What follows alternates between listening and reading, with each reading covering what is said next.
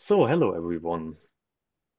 As a first introduction, this is not a real tutorial, it's more like a concept session about how to make a character sitting on a chair.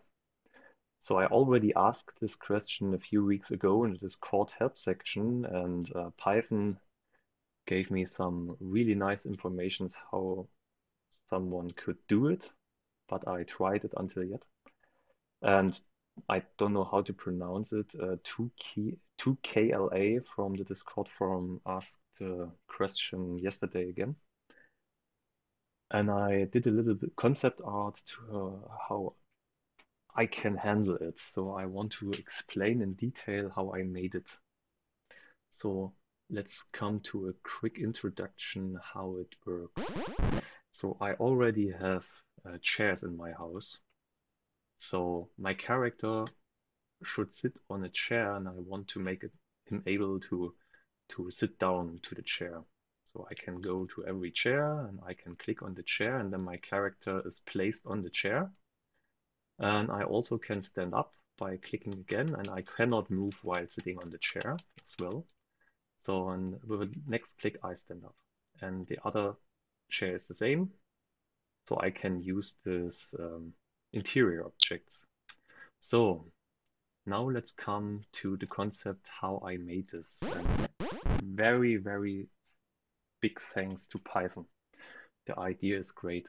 So the first idea was I could build a character with a chair in its bum. So I have the chair included in my character animation but it isn't really nice because I have to build a character with a bed on his bum and a chair on his bum and maybe a car on his bum and it's um, going weird.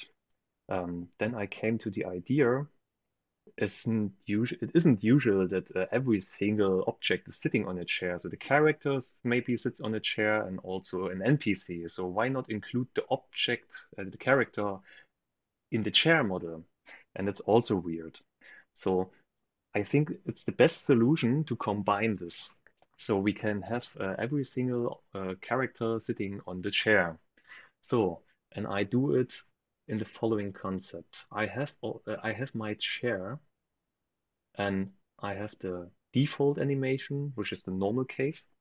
And I added a attach point in the middle of the chair and I have to make assumptions about the space I have. So every little NPC must be in a in a in a system where it has space to sit down on the chair. So my character models should fix my spacing. So I placed this in the middle and did it with another animation. So I have an animation without the attach point and with the attach point. And as you can see, my character is included in the animation, but not as the model, instead with an attach point. So I built up this and I want to show you how I did it. So I have this attach point, it's called bum, because it would be connected with the bum of every NPC I like. So I have to make Discord muted. So that's my bum attach point. And I also did it at a character, but I cannot attach a character on the chair, but I cannot attach an object on the chair. So I used my character and saved it as an object as well. So I have my my Rex character and I now also has a Rex object. And I also, I just uh, stayed at the animation of my idle animation. So my character in the idle animation has blinking eyes like this. And I I deleted everything, uh, every other animation and just stayed at this. And then I um, adjusted the tail closer to the body. So it's uh, in the space, in, in, inside the space um, grid of my chair and I set the legs in front of the character. So he's real sitting and now I if I attach the bum of the character to the bum attach point of my chair, it's sitting really attached in the chair and it's um it's equal how high the chair will be. It's sitting on top of the chairs, even if it's uh, 20 or 30 voxels high.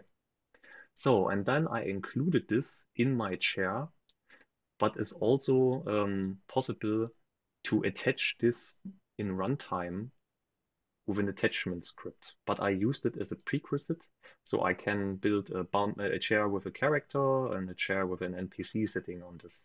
So it's really easy to do this. So I just have to toggle the animation sequences. Okay, so that's um, the concept about the sitting character. And now I have to handle that if I interact with the chair, my character is copied to the scene as an object too. So I have two Rex characters. And I handle this by building a new animation for my character. So every single NPC could have an invisible animation, which is simply a single animation frame with an empty grid. So I have the 12th grid frame, which is an empty animation. So I can um, make my character invisible. And I also can have a sit animation to every single NPC to use this, but um, I want to keep it simple. Okay, so let's come to the point.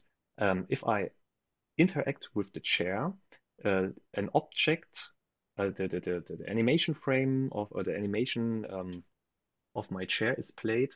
So the, the, the default character animation with the sitting character, and my character plays the animation invisible. And then it, I have the illusion sitting on a chair and I have to disable the movement of the character as well.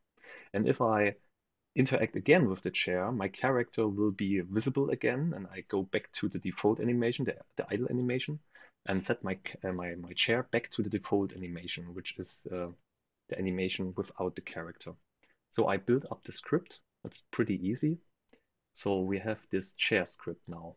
And I say I evaluate the condition self property in use, and if this null is null, so I haven't set this, I will initialize this with false. So at the default situation, there is no one using the chair.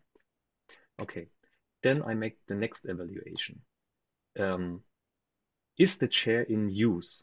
So if it is not, I set the chair to in use and I lock the character movement for my player. So I cannot move my character in any direction. So my camera is fixed at last position.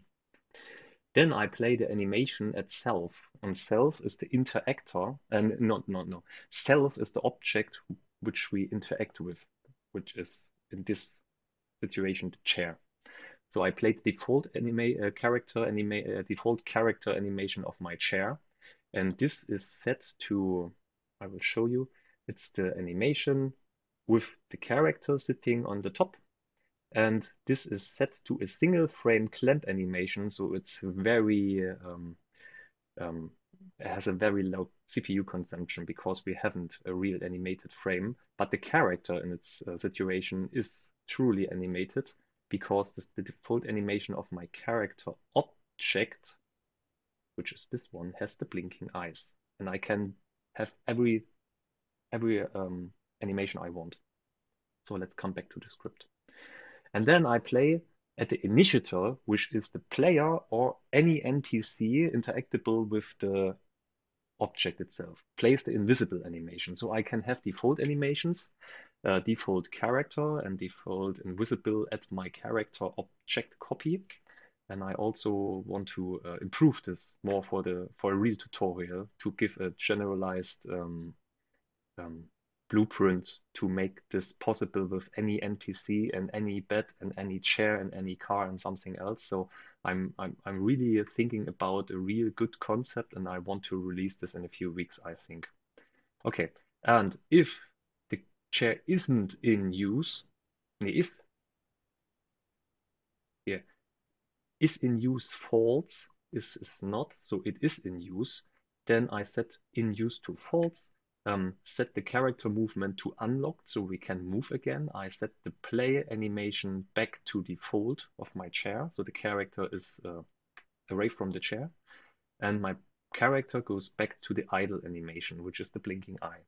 So, and in combination, we can see this again in the screen what exactly happens. So I go to my chair, and it's just the illusion that the character is really sitting on a chair. So everywhere I can interact with the chair, my chair switches to the animation with the character on top, attached at the bum, uh, bum attach point at the character's bum, and my character stays here and is just invisible. So that is the simple trick. So again, Python, this idea was really great, and I think I can improve it a lot to build a real reliable system for character animation and every single object. So thank you, thank you, thank you. I hopefully this will help you making great games. So like every time it's a present to the community and use it, have fun. And if you have any interesting ideas, tag me to Xantji in the Discord forum or play, uh, write a comment. So that's it. Have a nice evening, everyone. Bye.